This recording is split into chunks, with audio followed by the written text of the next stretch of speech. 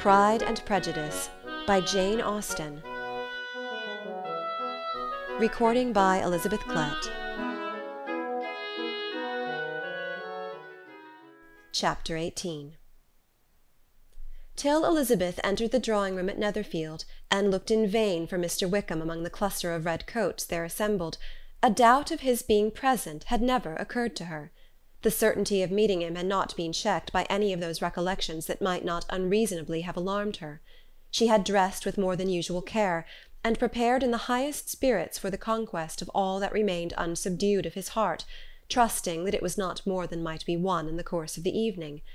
But in an instant rose the dreadful suspicion of his being purposely omitted for Mr. Darcy's pleasure in the Bingleys' invitation to the officers; and though this was not exactly the case, the absolute fact of his absence was pronounced by his friend Denny, to whom Lydia eagerly applied, and who told them that Wickham had been obliged to go to town on business the day before, and was not yet returned; adding, with a significant smile, "I do not imagine his business would have called him away just now, if he had not wanted to avoid a certain gentleman here."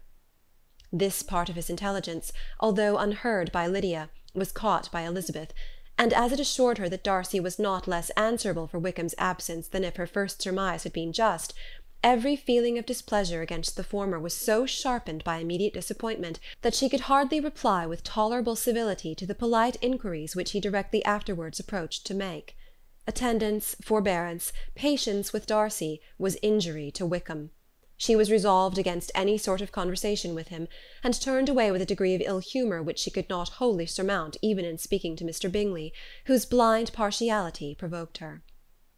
But Elizabeth was not formed for ill humour, and though every prospect of her own was destroyed for the evening, it could not long dwell on her spirits, and having told all her griefs to Charlotte Lucas, whom she had not seen for a week, she was soon able to make a voluntary transition to the oddities of her cousin, and to point him out to her particular notice.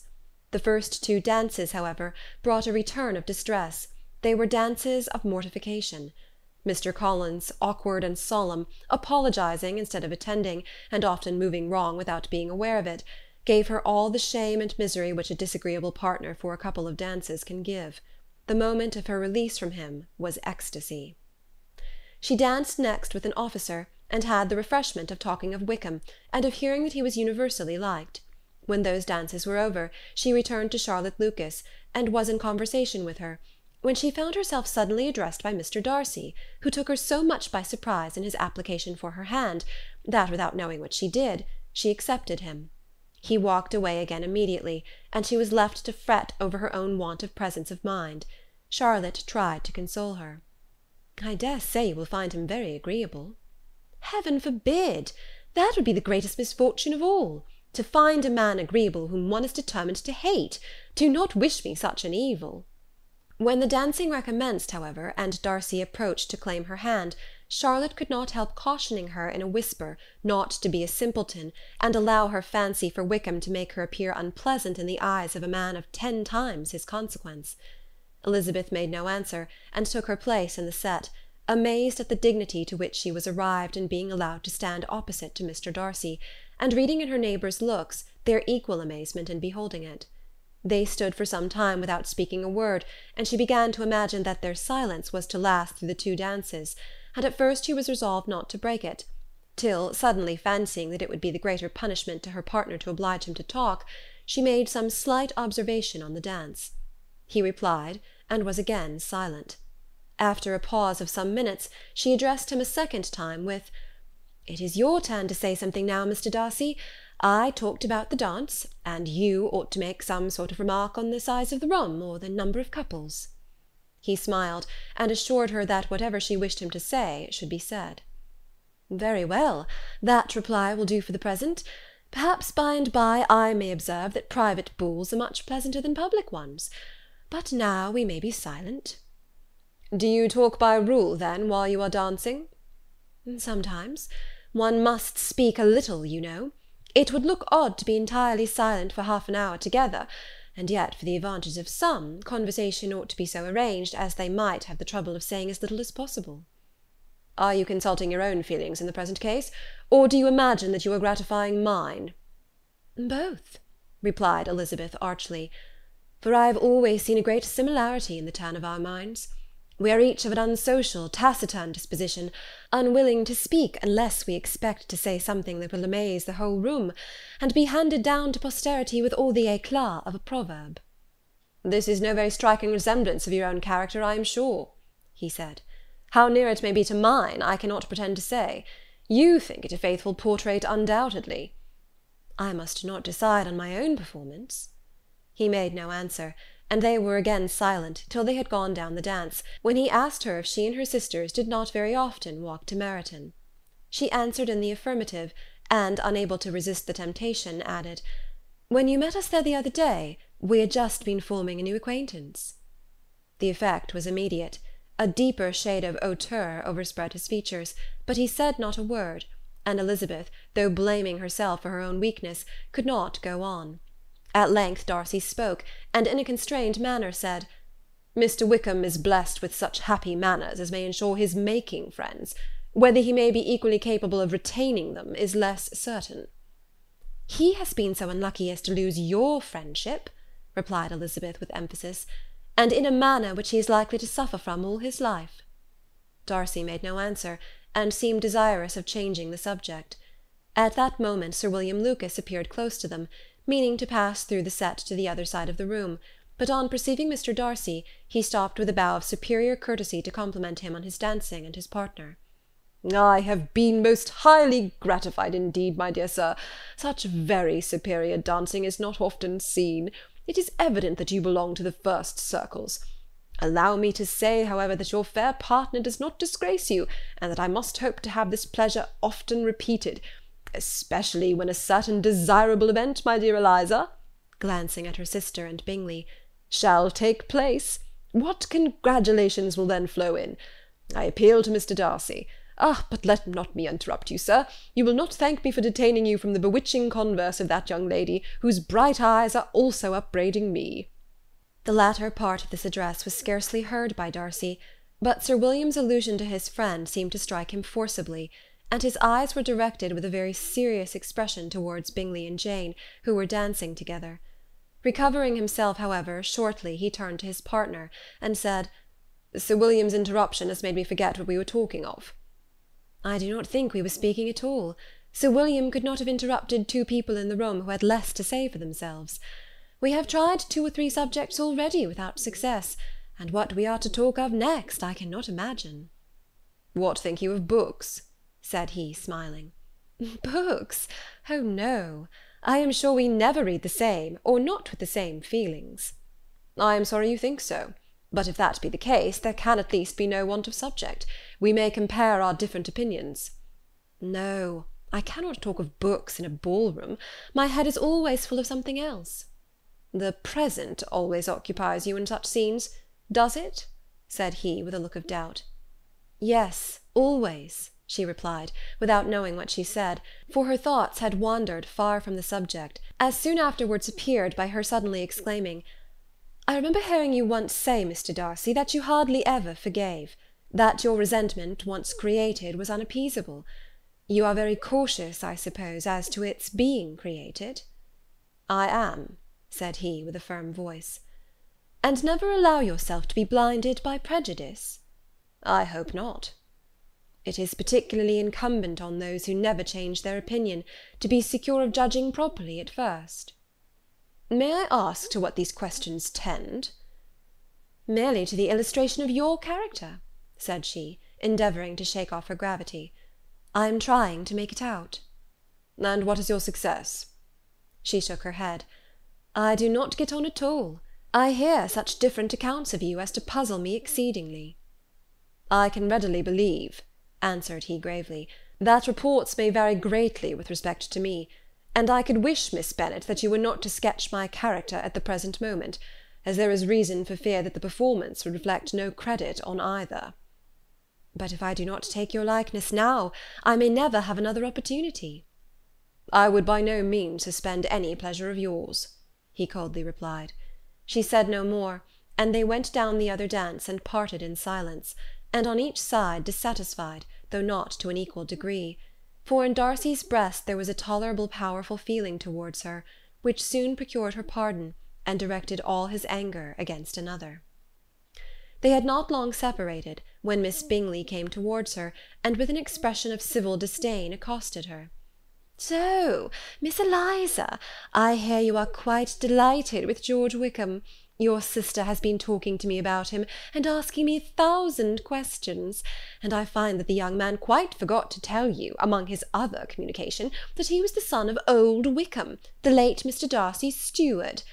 Let me recommend you, however, as a friend, not to give implicit confidence to all his assertions; for as to Mr. Darcy's using him ill, it is perfectly false; for, on the contrary, he has always been remarkably kind to him, though George Wickham has treated Mr. Darcy in a most infamous manner. I do not know the particulars, but I know very well that Mr. Darcy is not in the least to blame that he cannot bear to hear George Wickham mentioned, and that though my brother thought that he could not well avoid including him in his invitation to the officers, he was excessively glad to find that he had taken himself out of the way. His coming into the country at all is a most insolent thing indeed, and I wonder how he could presume to do it. I pity you, Miss Eliza, for this discovery of your favourite's guilt, but really, considering his descent, one could not expect much better. "His guilt and his descent appear by your account to be the same," said Elizabeth angrily; "for I have heard you accuse him of nothing worse than of being the son of Mr. Darcy's steward, and of that I can assure you he informed me himself." "I beg your pardon," replied Miss Bingley, turning away with a sneer. "Excuse my interference; it was kindly meant." "Insolent girl!" said Elizabeth to herself. You are much mistaken if you expect to influence me by such a paltry attack as this. I see nothing in it but your own wilful ignorance and the malice of Mr. Darcy."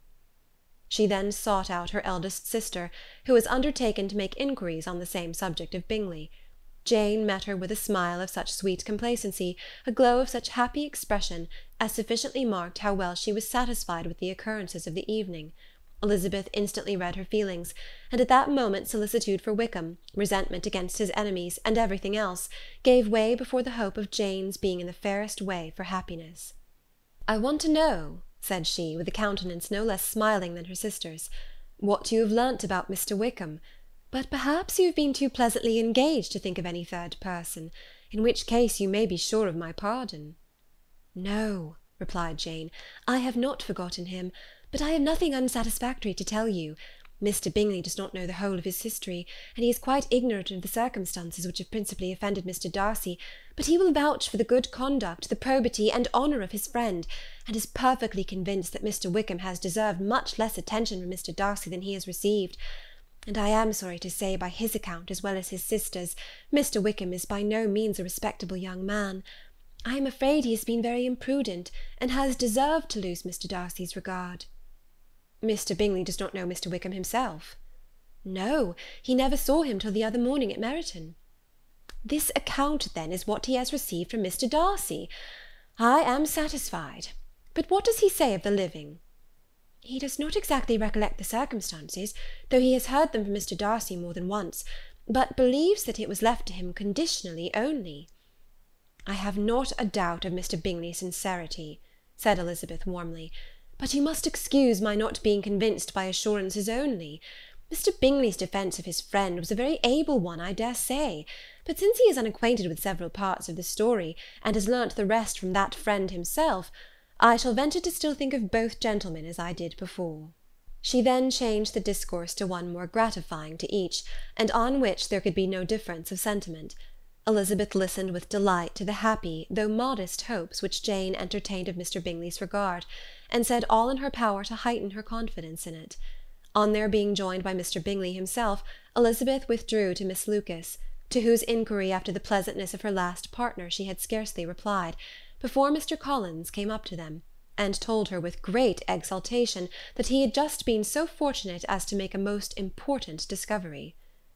"I have found out," said he by a singular accident, that there is now in the room a near relation of my patroness. I happened to overhear the gentleman himself mentioning to the young lady who does the honours of the house the names of his cousin, de Bourgh, and of her mother, Lady Catherine. How wonderfully these sort of things occur! Who would have thought of my meeting with, perhaps, a nephew of Lady Catherine de Bourgh in this assembly? I am most thankful that the discovery is made in time for me to pay my respects to him, which I am now going to do, and trust he will excuse my not having done it before. My total ignorance of the connection must plead my apology." "You are not going to introduce yourself to Mr. Darcy?" "Indeed I am. I shall entreat his pardon for not having done it earlier. I believe him to be Lady Catherine's nephew. It will be in my power to assure him that her ladyship was quite well yesterday se'nnight.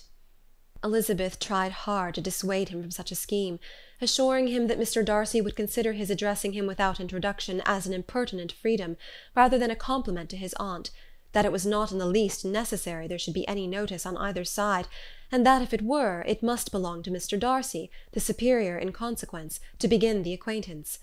Mr. Collins listened to her with the determined air of following his own inclination, and when she ceased speaking, replied thus. My dear Miss Elizabeth, I have the highest opinion in the world, in your excellent judgment, in all matters within the scope of your understanding; but permit me to say, that there must be a wide difference between the established forms of ceremony amongst the laity, and those which regulate the clergy; for give me leave to observe that I consider the clerical office as equal in point of dignity with the highest rank in the kingdom, uh, providing that a proper humility of behaviour is at the same time maintained. You must therefore allow me to follow the dictates of my conscience on this occasion, which leads me to perform what I look on as a point of duty. Uh, pardon me for neglecting to profit by your advice, which, on every other subject, shall be my constant guide, though in the case before us I consider myself more fitted by education and habitual study to decide on what is right than a young lady like yourself. And with a low bow he left her to attack Mr. Darcy whose reception of his advances she eagerly watched, and whose astonishment at being so addressed was very evident. Her cousin prefaced his speech with a solemn bow, and though she could not hear a word of it, she felt as if hearing it all, and saw in the motion of his lips the words apology, Hunsford, and Lady Catherine de Bourgh. It vexed her to see him expose himself to such a man. Mr. Darcy was eyeing him with unrestrained wonder and when at last Mr. Collins allowed him time to speak, replied with an air of distant civility. Mr. Collins, however, was not discouraged from speaking again, and Mr. Darcy's contempt seemed abundantly increasing with the length of his second speech, and at the end of it he only made him a slight bow, and moved another way. Mr. Collins then returned to Elizabeth. "I have no reason, I assure you," said he, "to be dissatisfied with my reception. Mr. Darcy seemed much pleased with the attention. He answered me with the utmost civility, and even paid me the compliment of saying that he was so well convinced of Lady Catherine's discernment as to be certain she could never bestow a favour unworthily. It was really a very handsome thought. Upon the whole, I am much pleased with him. As Elizabeth had no longer any interest of her own to pursue, she turned her attention almost entirely on her sister and Mr. Bingley and the train of agreeable reflections which her observations gave birth to made her perhaps almost as happy as Jane. She saw her in idea settled in that very house, in all the felicity which a marriage of true affection could bestow, and she felt capable, under such circumstances, of endeavouring even to like Bingley's two sisters. Her mother's thoughts she plainly saw were bent the same way, and she determined not to venture near her, lest she might hear too much. When they sat down to supper, therefore, she considered it a most unlucky perverseness which placed them within one of each other, and deeply was she vexed to find that her mother was talking to that one person, Lady Lucas, freely, openly, and of nothing else but her expectation that Jane would soon be married to Mr. Bingley.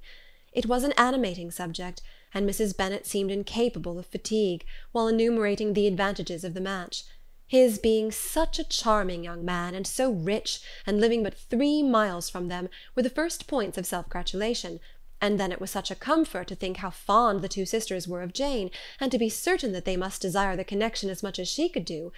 It was, moreover, such a promising thing for her younger daughters, as Jane's marrying so greatly must throw them in the way of other rich men. And lastly, it was so pleasant at her time of life to be able to consign her single daughters to the care of their sister, that she might not be obliged to go into company more than she liked. It was necessary to make this circumstance a matter of pleasure, because on such occasions it is the etiquette, but no one was less likely than Mrs. Bennet to find comfort in staying home at any period of her life. She concluded with many good wishes that Lady Lucas might soon be equally fortunate, though evidently and triumphantly believing there was no chance of it.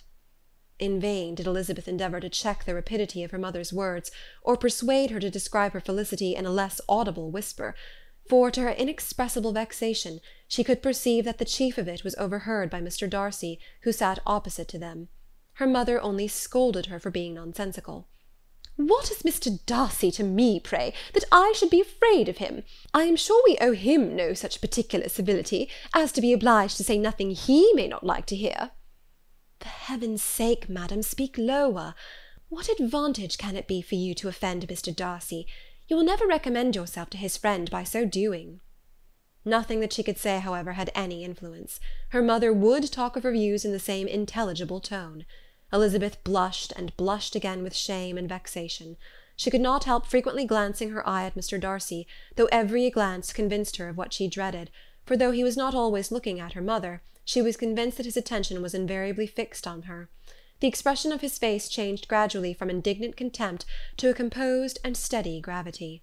At length, however, Mrs. Bennet had no more to say, and Lady Lucas, who had been long yawning at the repetition of delights which she saw no likelihood of sharing, was left to the comforts of cold ham and chicken. Elizabeth now began to revive; but not long was the interval of tranquillity, for when supper was over, singing was talked of and she had the mortification of seeing Mary, after very little entreaty, preparing to oblige the company. By many significant looks and silent entreaties did she endeavour to prevent such a proof of complaisance, but in vain. Mary would not understand them; such an opportunity of exhibiting was delightful to her, and she began her song. Elizabeth's eyes were fixed on her with most painful sensations, and she watched her progress through the several stanzas with an impatience which was very ill rewarded at their close for Mary, on receiving, amongst the thanks of the table, the hint of a hope that she might be prevailed on to favour them again, after the pause of half a minute, began another. Mary's powers were by no means fitted for such a display; her voice was weak, and her manner affected. Elizabeth was in agonies. She looked at Jane, to see how she bore it, but Jane was very composedly talking to Bingley.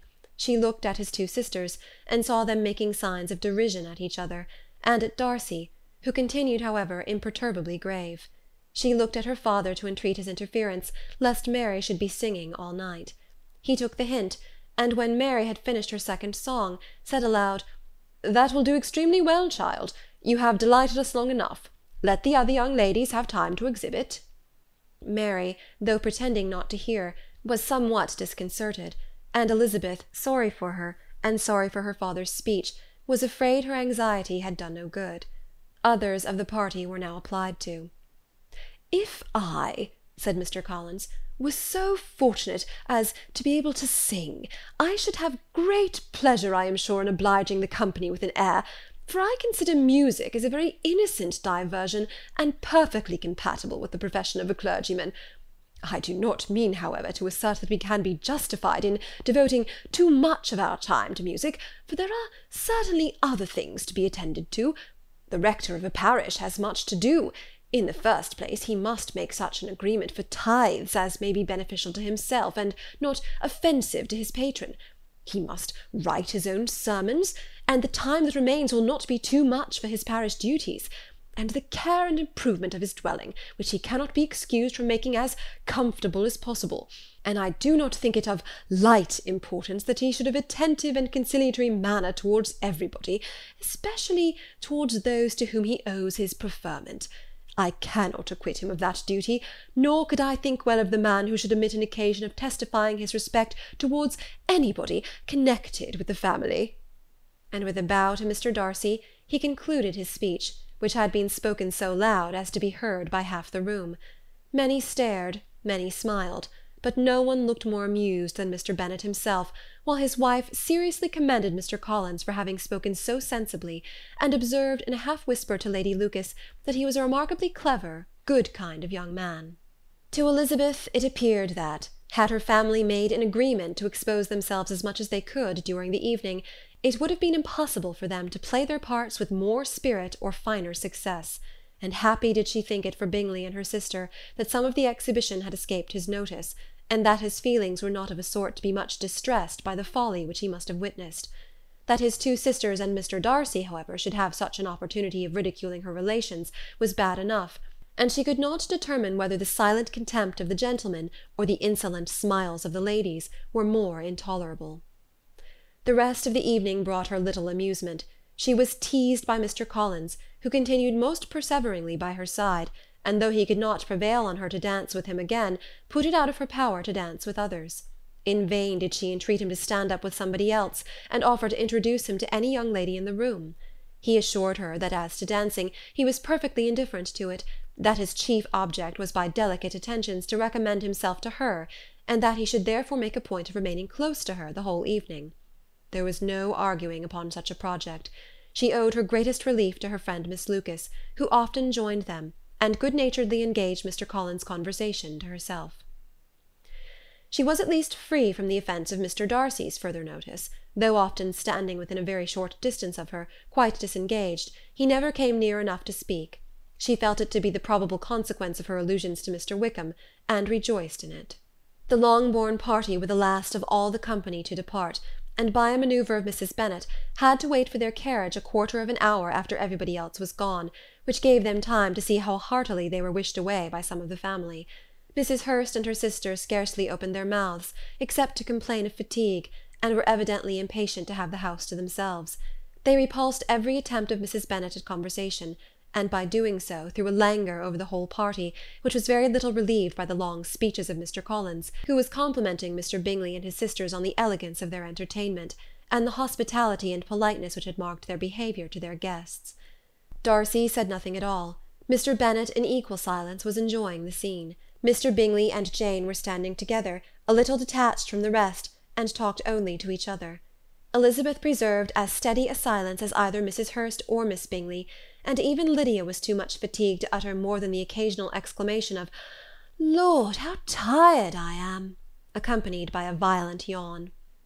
When at length they arose to take leave, Mrs. Bennet was most pressingly civil in her hope of seeing the whole family soon at Longbourn, and addressed herself especially to Mr. Bingley, to assure him how happy he would make them by eating a family dinner with them at any time, without the ceremony of a formal invitation. Bingley was all grateful pleasure, and he readily engaged for taking the earliest opportunity of waiting on her, after his return from London, whither he was obliged to go the next day for a short time.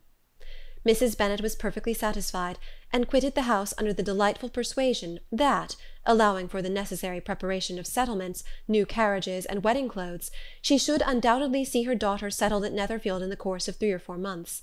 Of having another daughter married to Mr. Collins she thought with equal certainty and with considerable, though not equal, pleasure.